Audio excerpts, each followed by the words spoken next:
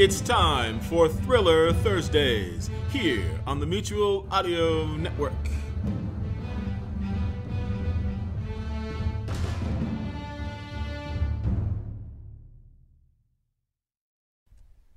The following audio drama is rated PG for parental guidance.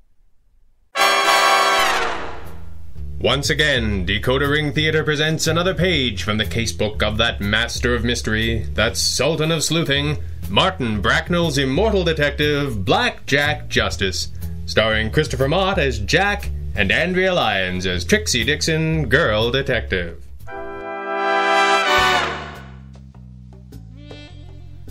The name's Dixon. Trixie Dixon, girl detective. The detective business is a funny one, my friends. Most of the time, you take what comes. And most of the time, what comes is nothing at all. The clock ticks and the sun crosses from one side of your palatial offices to the next, and the door resolutely fails to open. It's like a great, big, flat plane of boring, occasionally punctuated by someone shooting at you. And when you couple that with the opportunity to have as your only companion on this journey into nothingness a haircut that walks like a man, someone whose company you neither enjoy on a conversational nor a recreational level, someone who rates as a cautionary example at best, well, then that secretarial school that your mother was always leaving pamphlets lying around in support of starts to look real good. But I suppose that ship has sailed now, hasn't it? Alas. It has been just such a week at the mighty firm of Justice and Dixon, and thus far Thursday looked like being no exception. Around 11 o'clock, old Squarejaw picked up the telephone receiver and held it briefly to his ear before returning it to its cradle with a glare in my direction that dared me to mock him for checking to see if the line was still working. Three hours later, I almost stood up to check and make sure that we hadn't somehow left the office door locked accidentally all week, when it spared me the trouble by opening to admit a gentleman caller. He wasn't much to look at, and after four days of nothing but Jack's face, that was really saying something. He was tall, but not imposing, slick, but not exactly smooth, lean, but not necessarily fit. All in all, he was going to need a heck of an opening line if he was even going to have a shot, and I was so bored that was really saying something. Which one of you is Justice? And that was not it. That is just sad for you. What's that? I said, He's Justice, I'm Dixon, and why don't you help yourself to a chair? I'm pretty sure I just did. Only pretty sure? She's got a mouth on her. And all sorts of other things that you can only guess at. I don't know. I can guess real good. Well, a lifetime of practicing, I suppose. All right, cool your jets. I promise you, my jets are not even slightly warm. Then don't run off our new client, Mr. you don't know me? I didn't say that I did, and I didn't say that I didn't. If you knew me, you wouldn't think I was a client. We've had stranger. I bet you have. One of you princesses care to deal me in? My boredom is actually increasing, and I didn't know it could do that. Trixie, this is Daniel Goodman of the South Side Goodmans. Real cute. They also call him Torpedo Dan. Yes, they do. Torpedo Dan? Used to be a shooter for their Corsetti mob? Who says used to? I hear Mr. Corsetti's got a new number one. Some Spanish kid. Panamanian. Whatever, it's all Latin and delightful. So if the Panamanian is the hot gun, what does that make Torpedo Dan? Mostly administration? I'm here with a message. Ah, errand boy. Once again, not a happy ending. you better rein her in. The message. what? I'm not going to waste precious banter on you, Goodman. Your threats don't mean anything because Corsetti didn't send you here to make them. He sent you here with a message. I am curious to know what that message might be. Mr. Corsetti says to tell you two nosy peepers to stay away from his family. What? You heard me. Well, that should be a very easy instruction to obey, as we have never had anything to do with any member of his family. Funny man. I'm unclear on this. Do we mean family family, or is this like mafia crime family family? Does it matter? No, it doesn't. Hmm. Well, it kind of does to me, because I would like to know what the dangerous crime lord would like me not to do in order that I might choose not to do it. I've had about enough of you. Said no one ever. Look, Twinkletoes, I'm actually attempting to be compliant. Some fellas like that. Okay, hold on. You two are on a job. Mr. Corsetti says you're off it. We are not on a job. All right. Be like that. Be like what? Mr. Goodman, I grant you that the girl detective tends to get under one's skin. if you would kindly keep your seat. What for? In order for me to impress upon you the depth and breadth of the mistake that you have made. Your Justice? She's Dixon. Yes, Then there's no mistake. Corsetti wants you off the job. we are not on a job. We have not been on a job in a week and a half, and that was a lost cat. You can have it your way. I am not having it any way in particular. We are not working for any member of the Corsetti family. Yeah, I'm still not clear on what that means. It does not matter, as we are not, in fact, working for anybody. Well, there is that, yeah. This is why you discovered us both here, dozing lightly in the middle of the day. We are not on the job, on any job. We are not currently employed by anyone to do anything. All right. I'll tell Corsetti, but he isn't gonna like it. Ah, hell. This was less than good. After years of pushing and shoving amongst the gangs, the Corsetti mob had settled in as the city's number one operation. We weren't above irritating high rollers, and history suggested that we didn't even mind doing it for reasons that weren't particularly noble, clever, or even logical. Sometimes we did it because it seemed like the thing to do. Sometimes we did it without really meaning to while we were trying to do something else, and sometimes we just did it for kicks. But there was one essential fact that tied all of these instances together. We almost always acted on the say so of a client.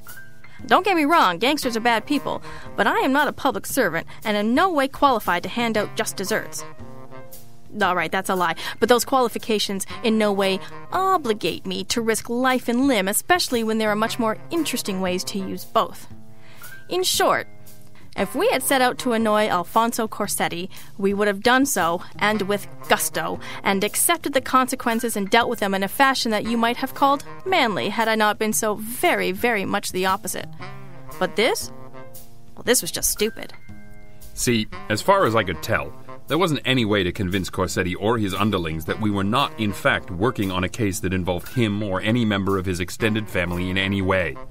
And while there was a certain practicality to shutting the office and hiding under a bed for a week, I wasn't convinced that that was going to do the job either. As far as I could see, the best shot we had at weathering this storm was the one thing that had been our anchor through similar, if less random, misadventures in the past deserving whatever we got. The role of innocent bystander was not one for which I was well suited.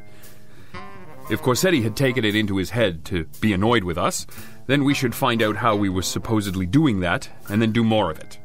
Because that would give us a general idea of where the bullets were going to come from, and so far, that has always been enough. There was only one logical place to start.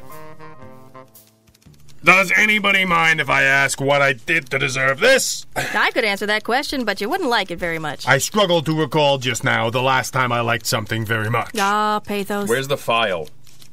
This is how you talk to me? You storm into my office like you're going to the mattresses right here in the squad room, and you start barking orders like the chief of detectives? Have we never met, or is there some other reason why you think this approach is going to work for you? Lieutenant, you're absolutely right. Yes, I am. I was very rude. Yes, you were. And I really do apologize. Well, all right then. Now, where's the damn file? I am holding it in my hands. That is not a file. What that actually is is more of a cardboard box. Nothing gets past you. In this particular instance, it is both a cardboard box, which it is, and a Corsetti file. or at least the first box. The first of. Seven. Oh, for Pete's sake. Sabian, if you know this much about the city's most dangerous gangster, how come you still don't know enough to put him in jail? Put him in jail? Put him in jail? Dixon, you're a genius! Why didn't I ever think of that? All right, don't get hysterical. We haven't put him in jail because Al Corsetti is a very slippery fish, is why. Because we can fill seven boxes with what we think we know, but we don't have a thimbleful of what a judge would call actual proof. And that is because people who might be willing and able to supply some of said proof have a long-standing habit of getting dead. Sabian, don't you have a. like a fact sheet or a précis of some kind? A précis, Mr. Frenchman? Well, Tracy is. I know what a précis is! So what you would like to appear from one of these boxes is a neatly typed, double-spaced single sheet that just happens to tell you exactly what you're looking for without you exactly knowing what it is until you see it. Yeah, kind of. You got anything like that? No! The folder with the green tab is biographical. This? This is Moby Dick. It's 38 pages. It ain't even a book report on Moby Dick. Is it possible that you became a private detective for no other reason than being bone idle? My shocking origin story revealed at last. My problem with all of this is that we still don't know what Smile and Dan meant. I can help you with that a little bit. What are these? Crime scene photos. Do I want to open this? Probably not. Holy cats! and she opens them anyway. These are the last people that Corsetti wanted to keep away from his extended crime family. They didn't get a nice warning message. They never even knew that they were suspected of crossing the big man's business interests. He just made them go away. So it's family, family, not the other kind of family? Be my guess. Why would he take that less seriously than the other? He doesn't. He killed a room full of people over business? And that's not a serious thing to Corsetti. That's business. That's following his instincts. Trying to be something like a human being. That's hard. So Corsetti cares what somebody involved here thinks of him, somebody he doesn't want to look like a bad guy to, even if they know better. Yeah. So it's his kids. Says here Corsetti has six daughters and one son, who would now be about eight years old. My guess is that if he thought we were a threat to the son, we'd already be dead. Probably true. Kid is the crown prince, born and bred to be just like his old man. But he's a problem for the next guy. Maybe the one after that. I'm not sure you're gonna live all that long. Why would you say that? I've eaten with you. It's probably true, but you still shouldn't say it. The youngest daughters are still too young. This one's pretty, but at 17, I think he'd still have killed her. Just for looking at her picture. Yeah. The 19 year old is away at school, unless that's out of date. Well, that's still right. So the oldest girl, Adriana, little older than her siblings, still not married. That's not a small deal in a big Italian family. Not just Italian. Mama Dixon goes on about it too. Yes, but she hasn't threatened my life in some years. Kind of a plain Jane. But maybe she's Daddy's little girl. So why didn't he just shoot us? If he thought you were following the girl, he'd have done it. But if he thought you were working for her, Papa, you killed my detectives and embarrassed me? you laugh. But there's a look your daughter can give you and nobody else can. Guy would go an awful long way out of his way not to get that look. Even a guy like Corsetti. Is that our ace in the hole? So far, it's our only card of any kind. But it's gonna have to do. Thanks for the use of the hall, Sabian. Yeah, don't mention it. To anybody! And thus fortified with a whole lot of not much, we made our way back to our mighty world headquarters. We were a little wiser, or at least we had a working theory, but as we trudged past the faded out of order sign on the elevator and up the stairs, a degree of dread had begun to set back in. Well, what do you think? About what? Please tell me you aren't actually that vapid. I'm not sure that word means what you think it means. I think it means that you're an idiot. I think it means that the boss of bosses thinks that we're on a fishing expedition for his possibly alienated little girl, and that if he even gets a whiff that this non existent job might include the gathering of evidence by us against him, he will not hesitate to smear us all over the walls. That's what I think. Okay, yeah. It doesn't mean that. Jack, I don't care about the stupid word. Me neither. Did you leave the light on in the office? Don't be stupid. It's the middle of the day. Is that a yes? No, it's a don't be stupid. I always turn the light off. And I don't pay that much attention to what you do. I turned the stupid light off. Well, it's on now. It is, isn't it? Door doesn't look like it's been forced. Hard to tell from here. Why are we still walking? You think we should bolt? Yes, no. Yes. Wouldn't matter. There's someone on the stairs behind us. One, maybe two. They sound big. Then I guess we're opening the office. Guns blazing? No, but keep it handy. Ready? Ready. Good afternoon. I am Alfonso Corsetti, and I have a problem. You are listening to Black Jack Justice from DecoderRingTheater.com. The detective business is the detective business. You take what comes. You don't try to outthink it or wonder what it portends. You just play the hand that you're dealt and try not to consider the fact that, in the end, the house always wins. But still, as I considered Al Corsetti sitting quietly in our client chair, a question kept playing over and over in my head Why aren't we dead yet? I was in no particular hurry for the other shoe to drop, you understand, but everything felt like it was happening to someone else. The gorillas from the stairs caught up, but Corsetti dismissed them with a wave of his hand, along with the two slick looking operators who had waited in the office with him. They all left without a protest, and I could hear them retreating to a respectful distance down the hall, as if they were powerless to do anything else. And they were. Corsetti seemed huge. There was an aura around him, something he projected that was imperial and godlike, and his lackeys were clearly deeply in his thrall. I was feeling a little enthralled myself, which is strange because part of me still expected the big man to strangle us with his bare hands like an infant Hercules. But as the closing rattle of the gray green glass in the door faded, so too did Alfonso the Magnificent. And in the space that he had occupied, there sat a sad, worried man, just like all of the other sad, worried men that had paraded through the office over the years. It was a heck of a trick, and I don't know how he pulled it off, but it left me in a rare state of speechlessness. Jack either elected to pretend he hadn't noticed out of courtesy, or actually did not notice out of stupidity and thoughtlessness, which now that I think of it seems like the more likely option. Mr. Corsetti, I don't know what Torpedo Dan told you. Torpedo Dan. I haven't heard that in a long time. Did you call him that? Possibly. Amongst other things. Uh, he'd have liked being called that. He's a good man, and been with me a long time. He's mostly uh, administration these days, but I know he misses the work. Shooters shoot. For most of them, it's the only thing they've ever been good at. And there's no blur in the line between success and failure. It's hard to find a second calling. And you, Mr. Justice? Who were you a shooter for? Uncle Sam.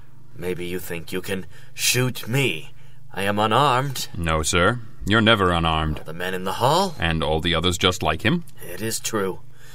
Everywhere I go, I am Alfonso Corsetti.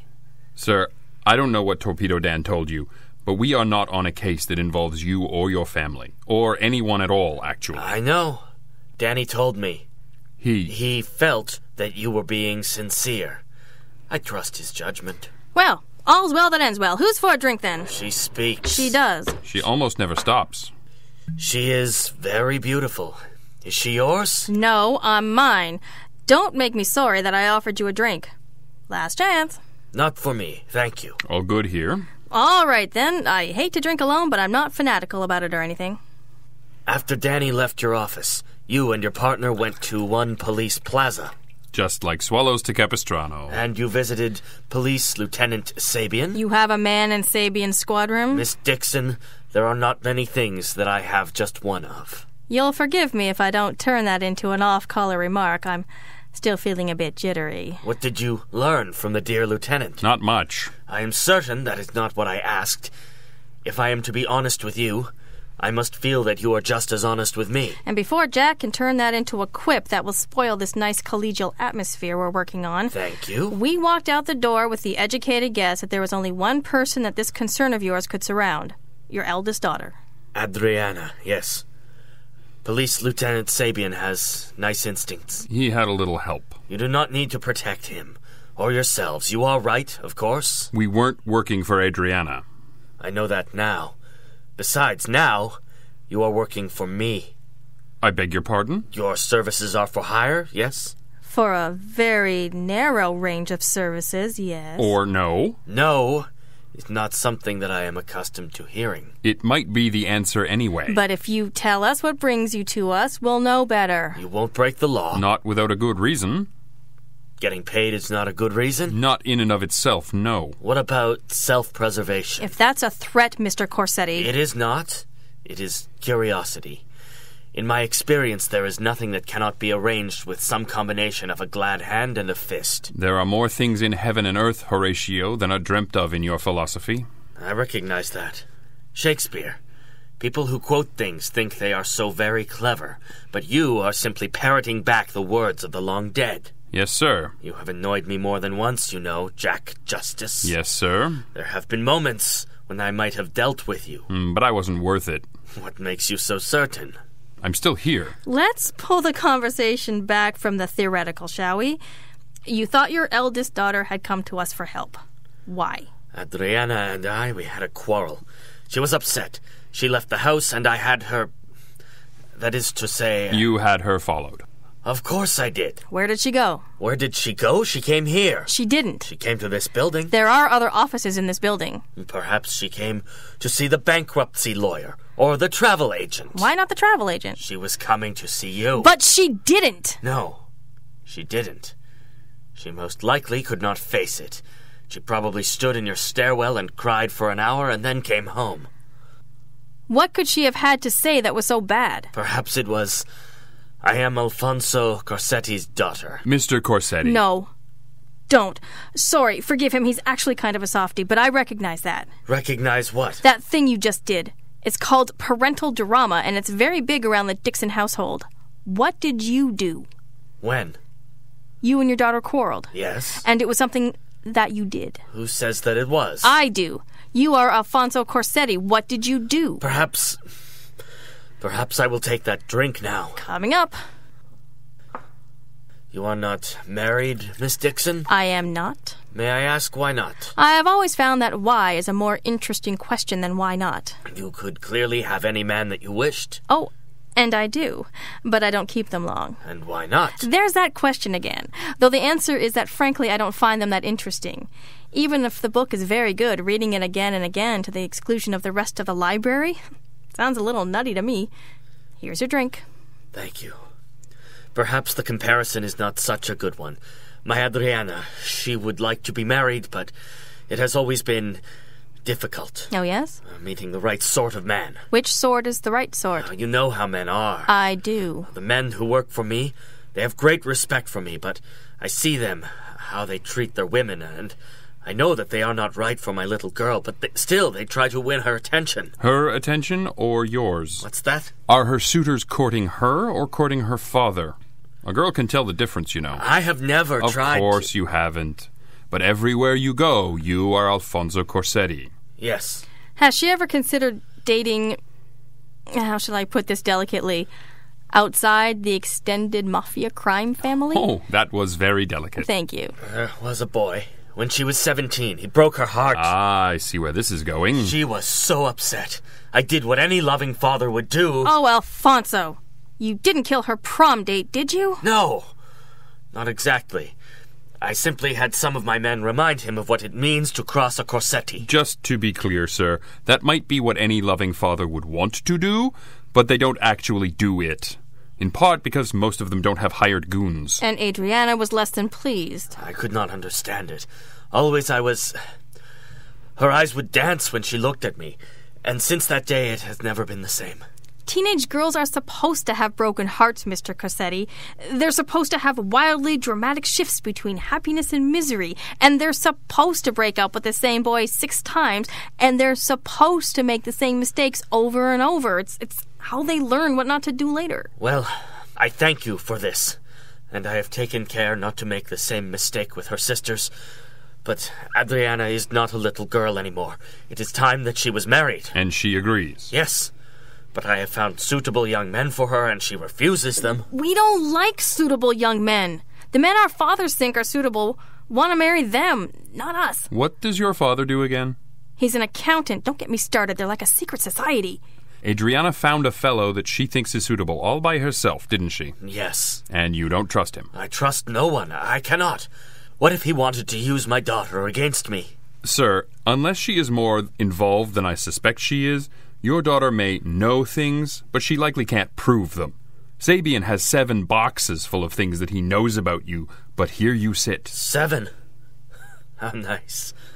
But still, how can I trust this man with my greatest treasure, my little girl? You wanted to sick the dogs on him. I wanted to make certain of him, to know her heart would not be broken again, to impress upon him what it means to cross a corsetti. Yes. And Adriana remembered her old beau, and there were some tears, yes? She looked at me with such. like I were the devil himself, and I may well be, but never to her. And she said she would take care of it herself and came this close to hiring detectives to vet her own sweetheart to your satisfaction without putting the hurt on him. Yes. And now you are going to do it for me. No. It is what she wants. No. It is what you want, except it isn't really. What you want is for your daughter to look at you like she used to. Like you were the biggest, most wonderful thing in the entire world. What you're asking us to do won't do that. It might. What does her young man do? He is a carpenter. Any chance he's really after a foot in the door of the family business? No. He is. No, he wants nothing from me. He makes cabinets. He is content. Swell. You're going to go home and tell Adriana that you were wrong. That I was what? Yeah, she'll be surprised too. Tell her that she's a grown woman and that you trust her judgment. Tell her that if she wants to marry this carpenter, you will be happy for her and not interfere unless she asks you to, and that everything will be just exactly as she wants it, and that she will always be your little girl. I guarantee you, Niagara Falls. You just smile and keep your hands in your pockets and watch the grandchildren roll in. I do nothing. Sometimes that's the right thing to do. And if she doesn't burst into tears of joy and tell you that you are the most wonderful daddy in the world, your money will be cheerfully refunded. What money? Oh, we get thirty nine ninety five a day, Plus expenses. of which there weren't really any. But you didn't do anything. Yes, sir. But sometimes that's the right thing to do. He thought about it for a minute. But then the most dangerous man in town pulled a 50 from a fat roll of bills and laid it on his desk. We had gone from shortly to be dead to refusing employment to paid anyway. But that was a detective business for you, my friends. You have to take what comes. Black Jack Justice, episode 62, Strange Bedfellows, was written and directed by Greg Taylor and starred Christopher Mott and Andrea Lyons, with additional voices supplied by Ryan Serro, Scott Moyle, and Greg Taylor.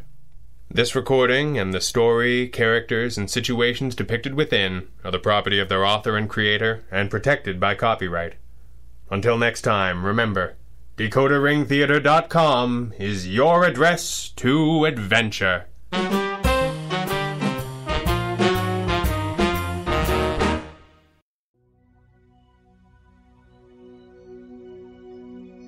There are many things that we can all do that may help stop the spread of the coronavirus. But one thing we can all do is to have a plan in case you do get sick. First, consult with your healthcare provider for more information about monitoring your health for symptoms suggestive of COVID 19. Second, stay in touch with others by phone or email. You may need to ask for help from friends, family, neighbors, community health workers, or more if you become sick. And finally, determine who can care for you if your caregiver gets sick. For more information, go to cdc.gov and be well, everyone.